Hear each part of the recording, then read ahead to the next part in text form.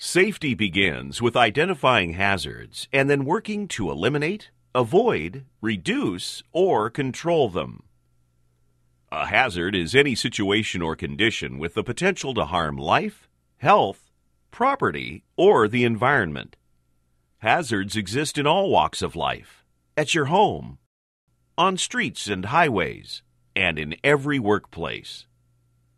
Hazards can be placed into at least three main groups physical hazards, related to working around dangerous moving machine parts, mobile equipment, and energy sources.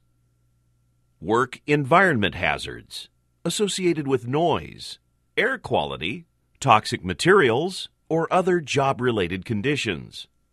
And performance and behavioral hazards, resulting from a lack of hazard awareness, inexperience, carelessness, and or insufficient training.